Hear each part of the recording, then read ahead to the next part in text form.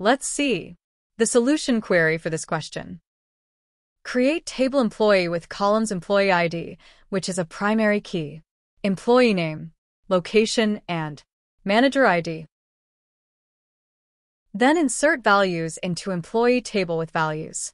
Here we inserted five values with ID, name, location with their manager ID. Inserted five IDs, where Alice don't have manager, represented as null. Okay, now use join to retrieve manager name.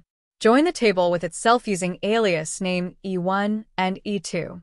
Every employee may have a manager ID that points to another employee ID in the same table. Then retrieve ID, name, location of employee, and also ID and name of the manager of E2 employee table, which refers to manager. Now, run the queries one by one. First create table, then insert values inside the employee table.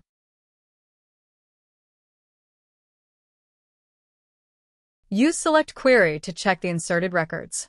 It shows all the five inserted records. Then check the Join query. Here, we can see that Employee 2 is reporting to Manager ID 1, that is Alice. Similarly, 3 also reporting to Alice where 4 and 5 are reporting to Bob.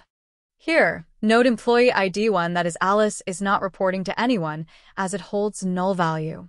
Subscribe to .NET Core Insights if you like this video.